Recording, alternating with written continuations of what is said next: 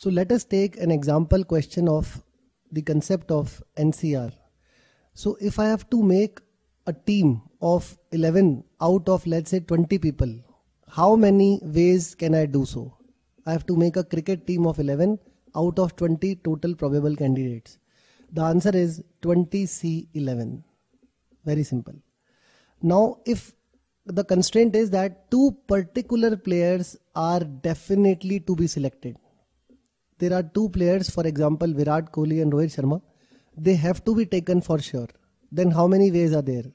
So it is akin to saying that I have to make a selection of 9 people out of the remaining 18 people. And the answer will be 18C9. Okay. The third part can be two particular players are not to be selected. They have just been given for the sake of name, you know, they are not to be taken then how many ways?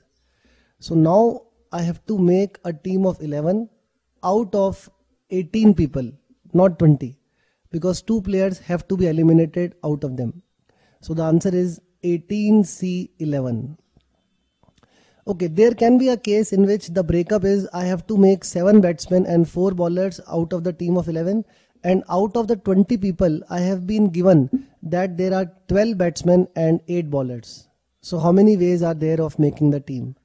So here I have to make batsmen, I have to choose batsmen 7 out of 12 which is 12C7. I have to choose 4 bowlers out of 8 which is 8C4. So therefore it is 12C7 and 8C4. Now the billion dollar question is will plus sign come in between or into sign come in between? And that is the beauty or rather the basics or the other the main principle of permutations and combinations. So here it is corresponding to so many ways of batsman selection. There are so many ways of bowler selection. It is a case of corresponding event.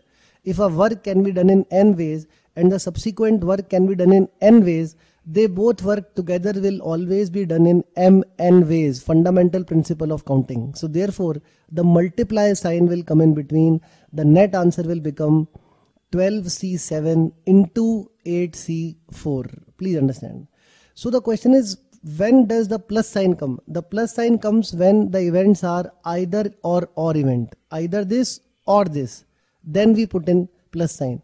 For example, if I have to dress myself and there are 4 trousers and 7 jeans available and I have to wear one bottom out of them, how many ways can I choose? The answer is 4 plus 7 which is 11 ways.